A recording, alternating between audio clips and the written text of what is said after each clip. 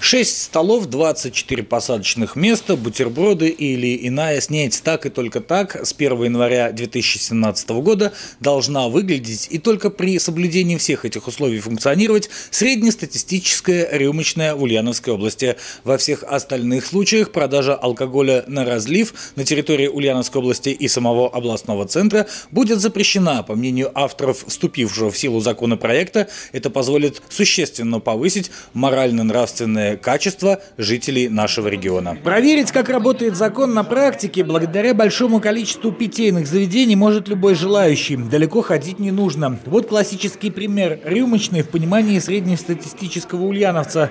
Специфический запах от этого никуда не деться. В остальном же новопредъявленным нормативам соответствует. Столы и стулья в наличии, к водке и пиву разнообразие закусок. От бутербродов и салатов до порционных пельменей.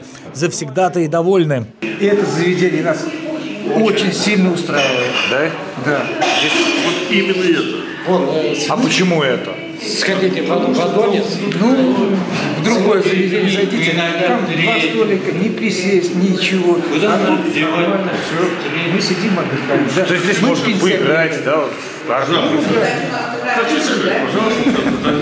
В другой питейной, географически расположенной не так далеко от первой, пока что не все в порядке. Столов меньше положенного, что сразу бросается в глаза. Но с учетом того, что законодатели предусмотрели переходный период для всех владельцев рюмочных, остаться в поле прибыльного бизнеса до февраля, внеся необходимые изменения и встретить официальные проверки во всеоружии, здесь готовы. Но вы знаете правила, какие Конечно, шесть столов. Вот убираем, я говорю, расторговываем все постепенно. Вот одну витрину увезли, у нас вообще еще тут витрина стояла.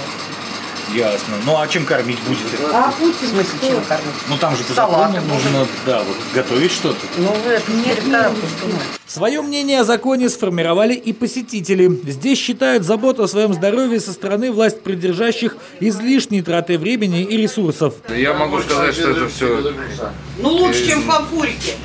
Ерунда вот, все, да? да, все ерунда. Этот закон, прежде всего, направлен на то, чтобы повысить э, качество обслуживания населения и здесь торговые точки, торгующие на разлив алкоголем, э, более цивилизованный мир. Все это еще один этап местной антиалкогольной кампании, стартовавшей, напомним, с запрета на торговлю спиртным в выходные и праздничные дни, а также в будни с 8 часов вечера до 8 часов утра. Есть мнение, что рюмочные морально-нравственно разлагают население Ульяновска. Вы согласны Да, да не, почему не? Рюмочный это нормально. Это вот где-нибудь, если за кауком там пьют вот эти вот пузырьки, то да. А так рюмочный, что, зашел с девушкой нормально, выпил там. Все, вот так вот. Привет всем большой. Не, ну я вот так говорю, рюмочный, не, рюмочный это нормально. Ну стоит ужесточать по отношению к Конечно. Стоит. Потому что даже с утра вот часов в 7 идешь, уже там люди стоят. Ждут? Ждут, пока откроются ведьмы, чтобы обхмелиться, как называется это. Это, наверное, зависит от самих людей, конечно. Потому что в поня- одной, в понятии одной рюмки у нас никогда э, не, не бывает, как говорится, предела. Да, где одна, там и больше. В результате чем-то плохим заканчивается. Есть хорошие заведения, куда можно зайти и отдохнуть.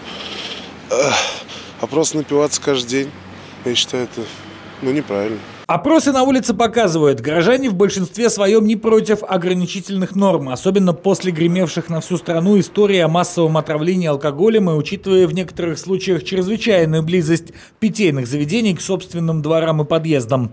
Конечно, ряд предпринимателей, чьи рюмочные находились в помещениях, площади которых просто физически не позволяют выставить в зале сразу 6 столов и 24 стула, уйдут, но, скорее всего, не навсегда и не окончательно. Бизнес не первый год сталкивается с различными запретами и препонами, как вполне разумными, так и спорными, но тем не менее продолжает существовать. Любители выпить, несмотря на различные попытки государства побеспокоиться об их здоровье, продолжают выпивать, а общество в целом пребывает в некой прострации. С одной стороны, давление на тех, кто пытается заработать, воспринимается нами в штыки, а с другой, никому не нравится сборище подшофейных приятелей, отдыхающих в непосредственной близости от нашего дома.